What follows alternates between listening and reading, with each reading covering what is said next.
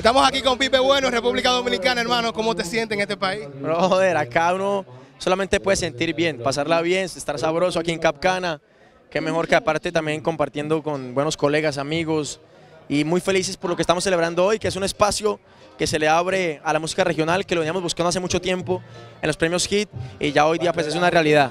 Eso que hablas de la música era genial. Pipe, tú eres de Colombia y dominas un, estás dominando un terreno que lo dominamos muchísimo tiempo los mexicanos. ¿Cómo te sientes tú a ser una persona que no es del mismo país de origen? A ver, lo que pasa es que en Colombia crecimos escuchando esta música desde hace mucho tiempo, sus películas, eh, tenemos esa influencia muy arraigada en, en, nuestro corazón, por decirlo así, y simplemente con el pasar del tiempo a mí me nació hacer esta música porque desde pequeño crecí escuchándola, entonces se me hizo muy normal a la hora de decidir cantar esta música. ¿Cuál es tu influencia de, de, de esos artistas mexicanos? Fíjate, antes de responderte eso, pero el reto más grande es que los mexicanos nos, nos reciban y nos crean y esta categoría que nos une, eso ya es muy importante. Y en México ya están pasando cosas muy bonitas con mi carrera, entonces vamos por buen camino. Y mi influencia son Vicente Fernández, Negrete, Antonio Aguilar, José Alfredo Jiménez, todos los juglares. Tu voz también es un poquito melodiosa, como es melodiosa, puede dar para balada, puede dar para pop. ¿Ha intentado hacer otro tipo de fusión en otro tipo de música?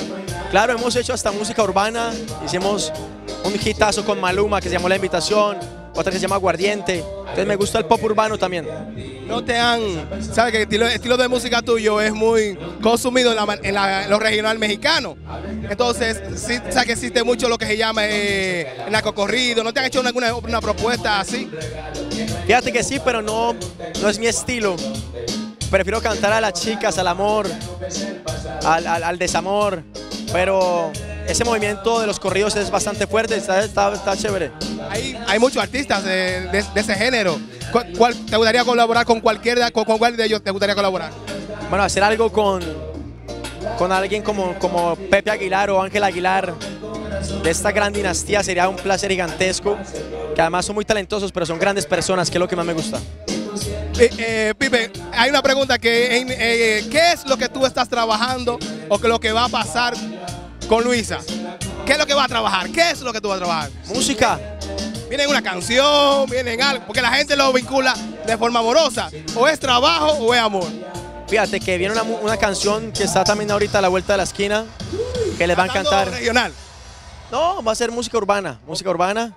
Eh, estamos hablando de que a mí se me ha encargado trabajar su coaching vocal a la hora de grabar, estar pendiente de sus letras. ayuda a ella en lo vocal? Claro, para grabar, para las canciones, para escribir incluso sus canciones también. Entonces, pero aguántense, papi, aguántense que... Cuando venga. Déjense sorprender. Cuando venga la canción. Pero nada, nada, nada de una relación fuera de la amistad. Papi, yo lo que les puedo decir es que cuando, cuando exista algo que contarles, se lo vamos a contar. El día que tenga que contarse se cuenta. Y eso no es el problema, güey. Es que no es Entonces, ¿cuál es el problema? Exacto. Entonces, Aquí le dicen en Dominicana el desesperado. El desesperado. ¿Qué lo eh, Viste a Mozart ahí. ¿Te gustaría hacer una colaboración con un dominicano? ¿Cuál sería? Fíjate que Mozart es uno de mis preferidos, sin duda alguna. Que además lo conozco. Ahorita estaba hablando incluso con su manager para mí sería muy, muy bacano, chimba, como decimos en Colombia, grabar con él. También me gusta mucho la música del Alfa. Pipe, de verdad, mil gracias, de verdad. Espero volver a verte aquí en nuestra tierra. A ustedes, un abrazo.